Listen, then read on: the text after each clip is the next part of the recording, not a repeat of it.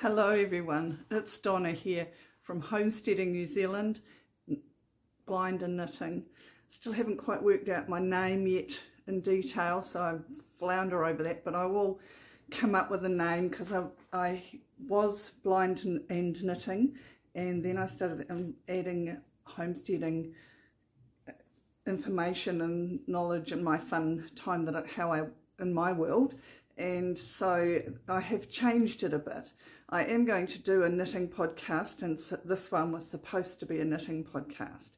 However, I am also a social worker that works in the lower half of the North Island of New Zealand and welcome to anyone who's joined today. We've got some new subscribers so I hope you enjoy my podcast. It's just a real relaxed chat to you one, show you what I do through my weekends because I work full time. I have my own business that I work at in the during the week and show you what I do in the weekends, which is around homesteading, cooking from scratch, and really living as simply as possible.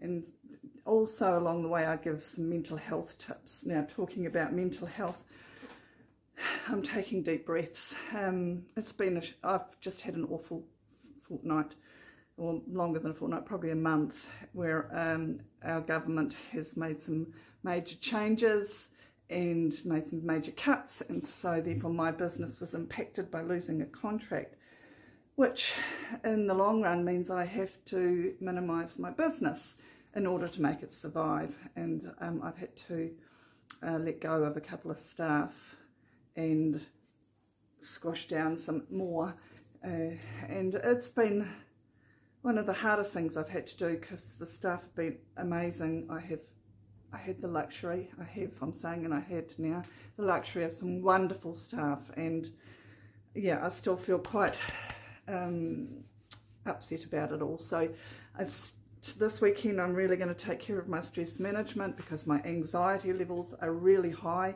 I often talk in these podcasts about how I've lived with anxiety all my life um, and managed it reasonably well uh, and hopefully you'll get tips along the way on how to do that. Uh, so I, I recognise that my anxiety levels are very high now. I, I can sense it in my body and I know what I need to do to bring those down and you can probably tell by the way I'm talking that I'm not breathing well. That's part of um, anxiety and stress is uh, our lungs um, are changing their breathing patterns in, in order to prepare for fight, flight and freeze. So our brain says to our lungs you better get ready buddies because we're going to have to either fight this or run like Billy O or hide and freeze. And um, that's what it's doing. It's changing our breathing patterns so I do know I have to do some breathing exercises um, and I'm going to do some meditation this afternoon because that really helps me sort of live in the now. Um, I've lived uh, sort of thinking forward and strategic planning and trying to you know work out budgets and how to do all this over the last month and I haven't lived in the now and to me that is really important. Um, and I don't know if you are a tattoo person. I am a tattoo person. I have several and my last one was I did Outward Bound. Uh, I don't know if I've said in this one, but I am legally blind, so I have just a tiny, tiny, tiny piece of vision. Uh, it's about the size of the palm of my hand. The rest of my vision field is black, completely black, um, and even the one that I have is blurry, and it's degenerative, so it is getting worse.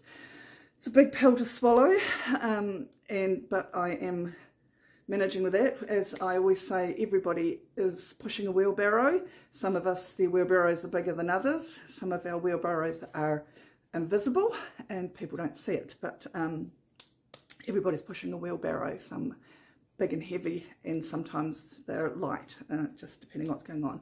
So uh, at the moment my wheelbarrow feels really big and heavy and off balance and this weekend I am going to sort that.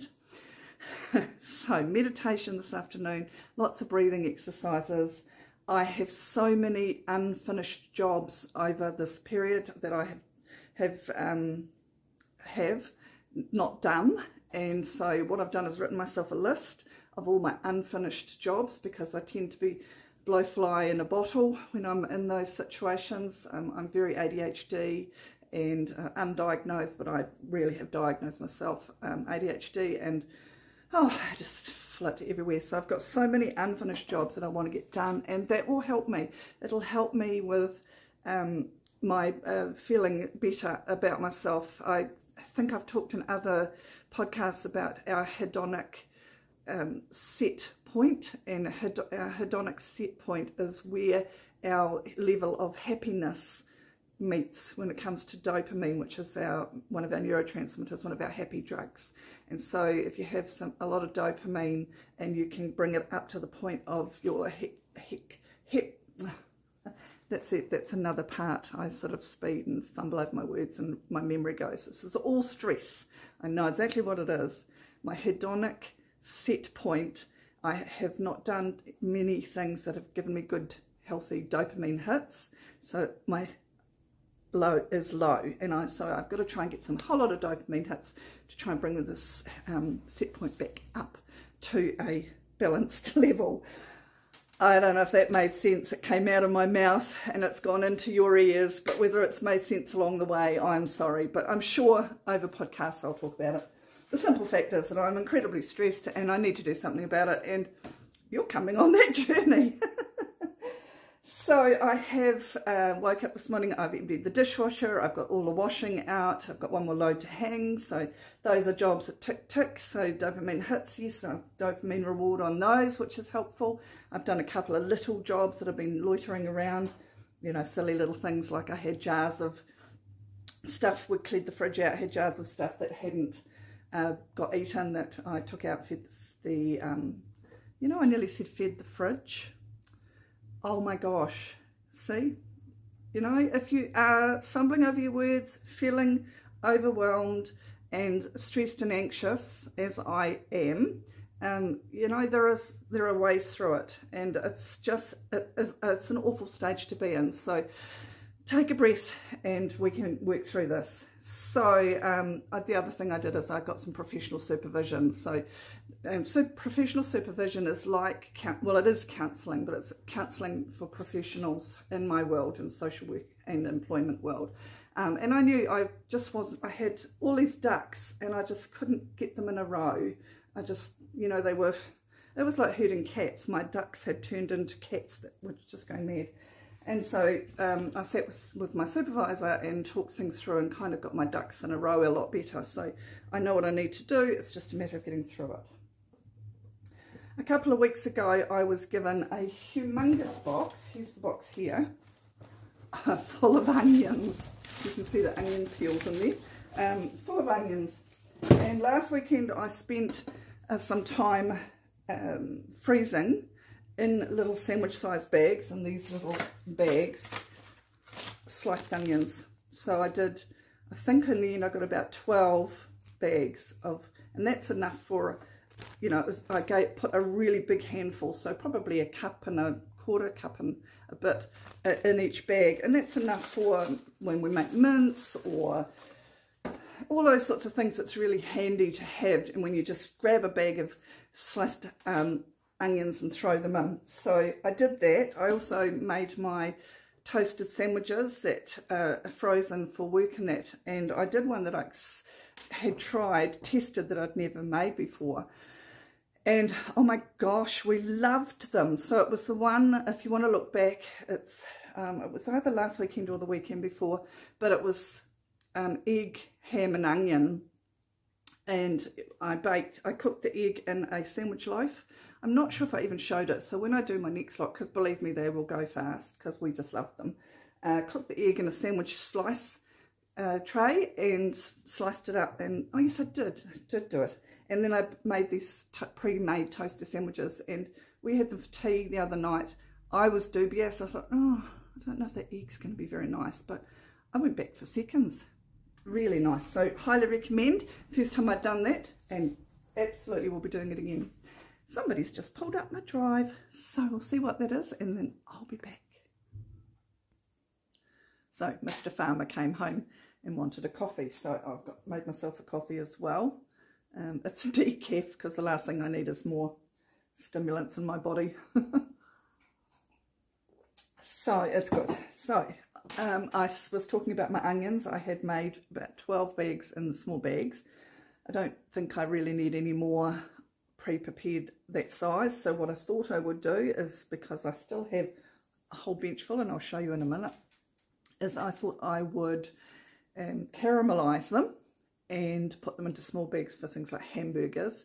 And also I'm going to do one ice cream container full. And I thought that might be quite handy for if we have friends over for a barbecue and you want to fry up a whole lot of onions to put on your steak sort of thing. So that's my goal today is caramelized onions to be able to put on hamburgers, etc. So I'll do smaller amounts in a, in a bag, so just enough for, you know, three, four hamburgers. And course they'll boil down. So I haven't caramelized onions for a while, so I'll take you through that. So I'll bring you down, show you my onions and show you what we're going to be doing. So Here's all my onions, if you can see them there. I'll just check you can see them. Yep, so there's all my onions, my bowl, my kitchen whiz is ready to do that with. Um, and so cut each end off of the onions and slice it in half. And I'll just leave it like that and get rid of the ends. Oops, let's move the box. Uh, and yes, so I was just talking about stress. Um, the thing with stress is if you have a plan on how to manage things, your brain will work so much better. The, the, our, our, our brain needs plans to feel like it's moving forward and that will help. And I've certainly got those plans, I've worked quite hard to do those and um, anxiety. Well, I've learnt my early warning signs and I've learnt what I need to do. But sometimes, of course, the plans don't happen the way you like. There's a great saying that plans happen while you're making life, which is so, so true. Or you make plans while life happens. So things change, get bounced around. And then, of course, when you're so busy, often you forget to do those self-care things.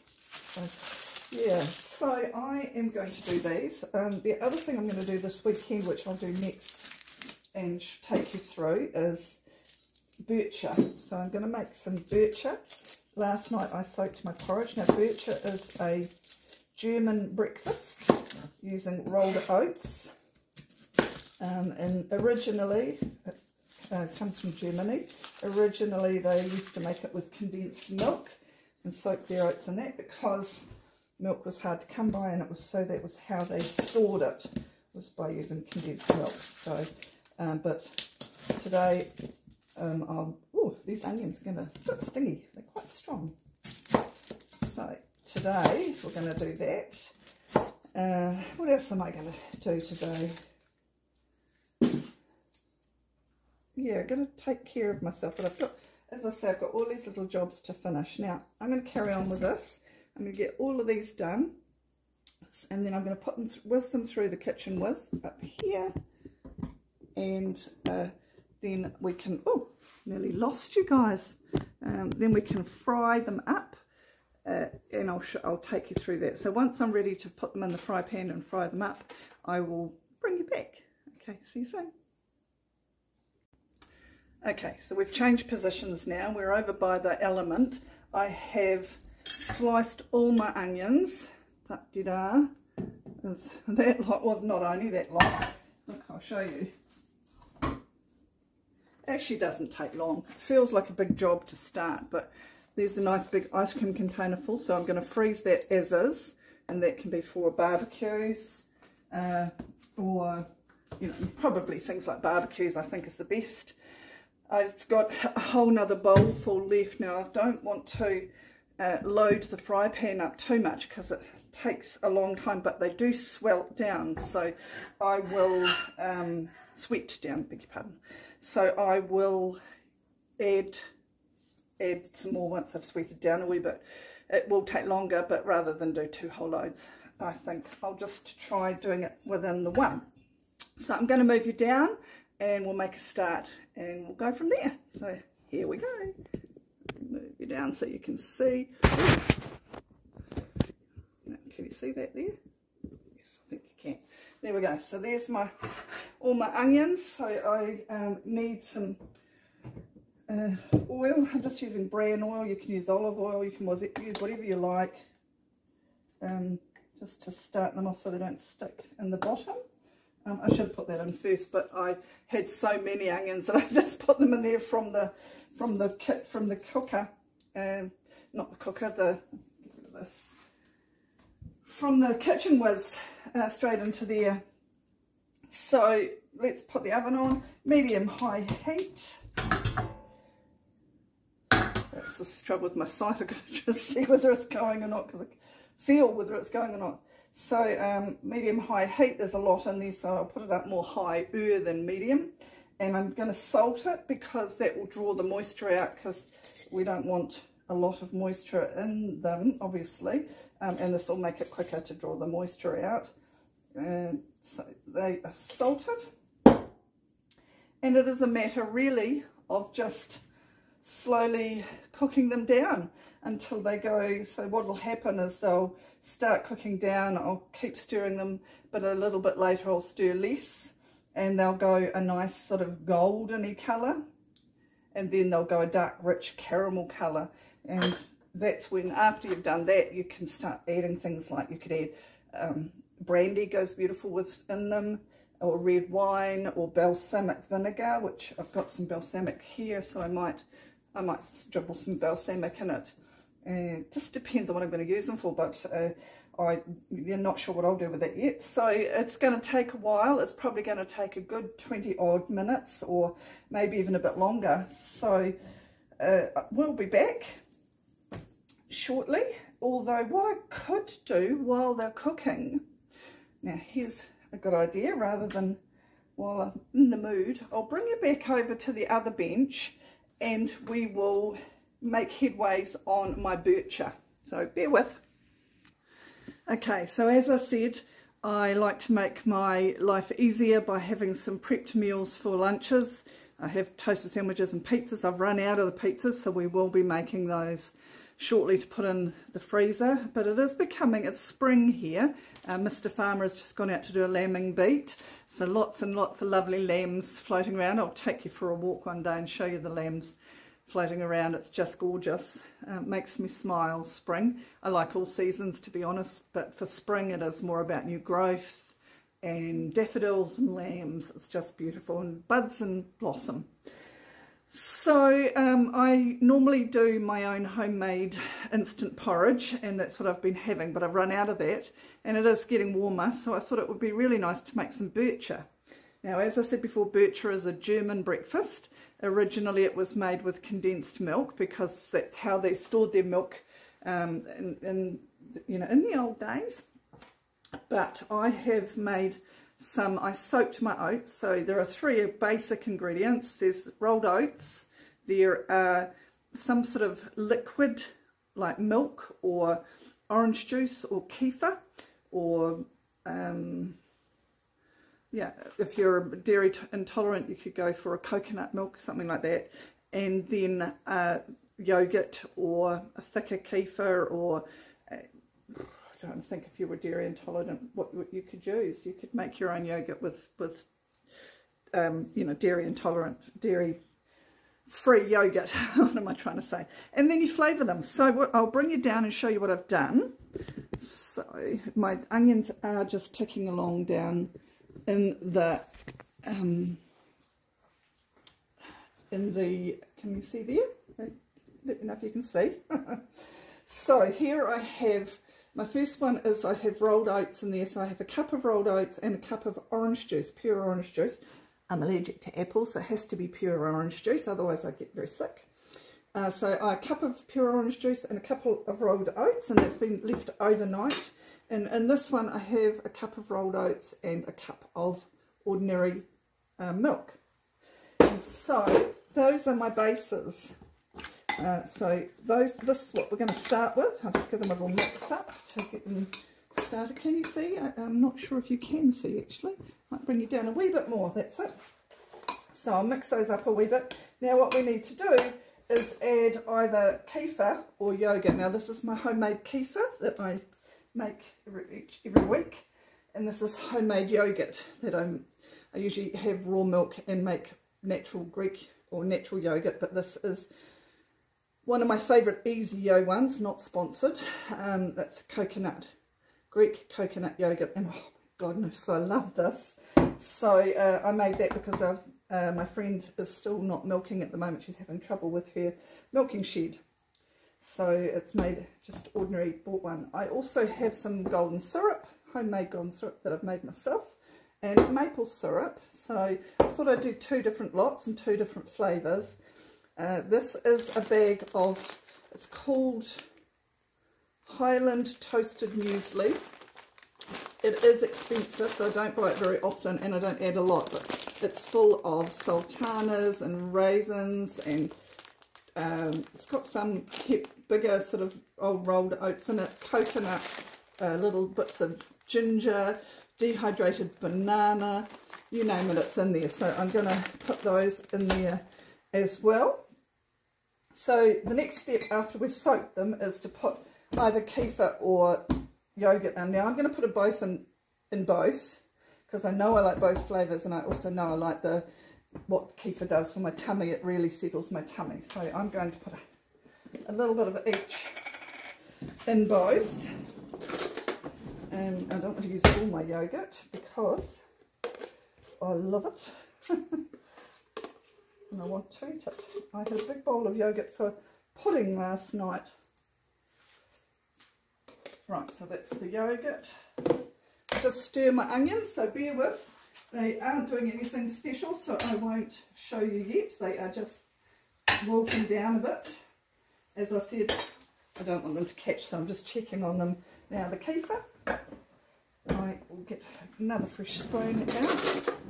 Give that a good stir actually a really nice thick kefir this time, which is unusual. And I'm just put a bit of kefir in both. You could measure these out. I'm probably putting in two thirds of a cup. Um, oh, yum, yum, yum. Lick my fingers, better wash my hands. it's only my food anyway. Mr. Farmer doesn't eat this. He's, um, I think he's dairy intolerant. So now you just mix it all up separately. Um, looks lovely, lovely. So I've not done one with orange juice before, so this will be a really new one for me to try. Uh, now you can add some bits and pieces. Now you, I've got frozen berries and frozen mango in the freezer that I can add, but I'll add those on the day. Uh, has this one been opened? No, it hasn't been opened. So that's good. But I'll add these now. Oh, oh my gosh. Drop the scissors. Uh, I'll add these now because it's just another job I don't have to do in the morning. Um, I actually have no problem with eating. Um, oh, this is divine. I know it's expensive, but it's divine. I'm going to add that to both.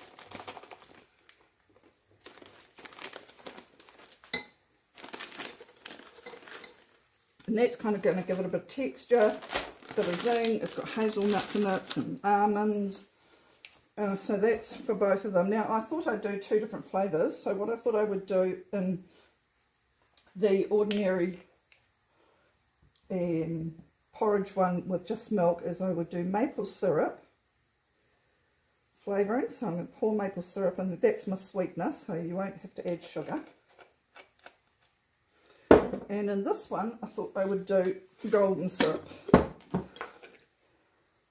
need another spoon. Go through some spoons, don't I? Um, this is my homemade golden syrup and so easy to make. So that is the sweetener in there and also the flavour. And I've got some cinnamon here. So I'd sprinkle a little bit of cinnamon in both, just to give it a zhuzh. You could do anything really. Can, and as I say, I've got the berries to put in there. You could put nutmeg in there. I do find with nutmeg for me, it's kind of got a gritty. I don't know. It's it's a it's a coarser um, texture, so I don't particularly like. I love the flavour of nutmeg, but I don't like the um, yeah, but the cinnamon, I do like the flavour and the texture. And so, A little bit of salt because porridge is just not porridge without a bit of salt, even just ordinary porridge. porridge. You don't need much, just a pinch. Just It just layers and brightens up the flavours.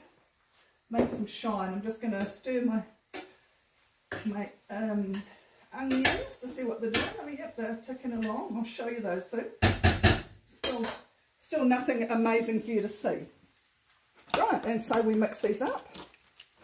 Um, people, a lot of people eat bircher. Uh, a lot of people don't know what it is.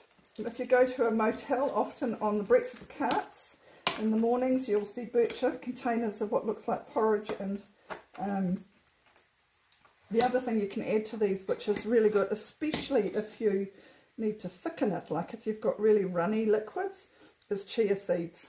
So chia seeds, and I've got some, but you know what? I can't be bothered getting them out. Isn't that awful? You know, as I said, I'm having a having a moment. This um, this I have just spread that golden syrup through, don't I?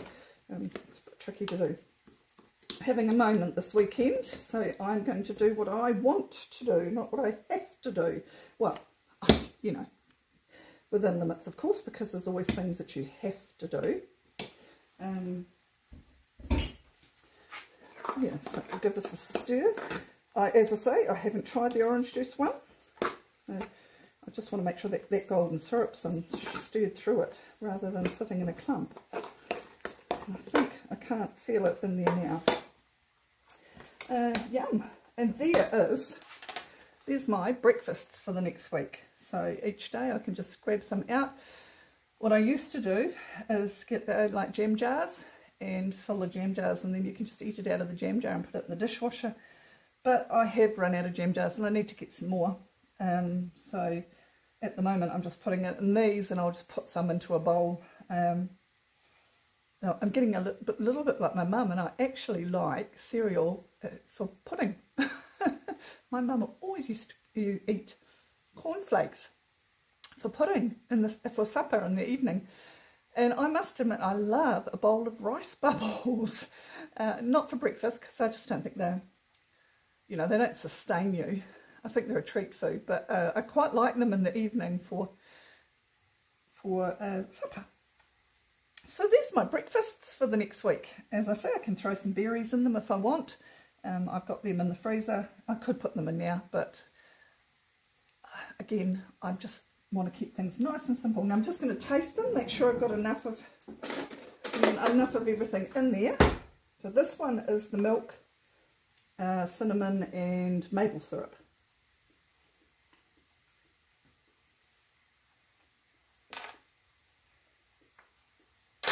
do with a bit more maple syrup. I think I can't really taste the flavour through. And I like maple syrup, so.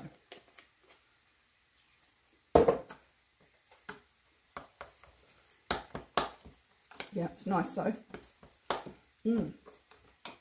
This will be so handy. I'll just get up in the morning and I can just grab. Mmm. That's much, much better. Much better. Right, so that's the maple syrup one. I've got porridge everywhere. Mr. Farmer will be coming behind me, sweeping, of course. Right, this is the golden syrup one. And this one I've not tried before, so it'll be interesting. Um, so I soaked it with orange juice. Mmm. Oh, yeah. That is good. I'll be doing that one again. All right. There is my breakfasts for the next week. I'll pop those in the fridge shortly. I'll just go and see what my onions are doing. I'll turn you around and I'll bring you over and see. We'll have a look see what the onions are doing. Oh, oh sorry, love. Sorry, I was going to call you love. Sorry, guys. Okay, so it's just starting to shrink down. And uh, it's catching a wee bit on the bottom, which we don't want. So what you can do is just add a little bit of water. It'll pick up all those nice caramelised bits on the bottom, but it'll stop it catching. And now it's just starting to turn, so you can see that it's going to go a little golden. And yeah, we'll just keep that going. and uh, I'll, I'll bring you back when it starts to change colour, uh, really. So I have got a heck of a lot in there, so it's going to take a while. Normally you would do just enough. And I'm, what I'm going to do is, and this was a tip that um, someone I work with, Bev, at the community centre told me, and she puts them in patty tins, uh, silicone patty tins, and freezes them, and then she, so that they are thawed in just a nice amount for a hamburger or a piece of steak. And so I'm going to do that. I'm going to put them in, freeze them in my silicone patty tins, and then they will be free flow. And that, I think, is a jolly good idea. So I'm going to put my feet up. I'm going to watch a nice podcast and just chill because I just want to do things I enjoy today. I am getting through my list. So onions, tick. Washing, tick. Um, yeah, uh, breakfasts for next week, tick. Uh, I'm getting through it. That's all good. So we'll be back shortly. Bye. It's me. I got a bit carried away and I got on with the onions without taping. Sorry. So uh, I thought, well, I'll just have to show you them because I've finished. And I haven't frozen them yet though. So I have caramelized all of those onions. I'll um, Let me turn you around and I'll explain. So I've caramelized all of the onions and I've put them into patty tins, silicone patty tins. I did add a little bit of balsamic vinegar to taste. the second batch, I probably could have caramelized them a bit longer so you can see the colour difference. Now, there's a, quite a difference when you do do onions. There's a difference between sweating them down and caramelizing them. So when you sweat them down, they go translucent and stay sort of solid. But when you caramelize them, the, the sugars come out of the onions and they um, caramelize. So there is a difference. And I think these could have had you can see those ones six there are just a slightly different colour. But I'm, I'm pretty, they taste good. I've checked them, I've tasted them, and I'm happy with them. So I've also got two, okay, I'm, I didn't want to do another bag, so I'm just going to freeze those. And I've got a big container, ice cream container, chocker of grated onion as well.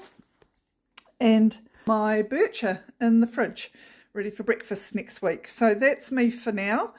I'm going to go and do some self-care, self-care, self-care. That's exactly what I'm going to do this afternoon. I have one job to do for work for an hour and then that is me. I'm just going to chill. And um, yeah, but I feel like I've uh, produced today. I'll come back and hopefully I'll do a knitting one tomorrow when I feel a little bit more refreshed. and uh, we'll see you then. So bye for now from Donna. Bye.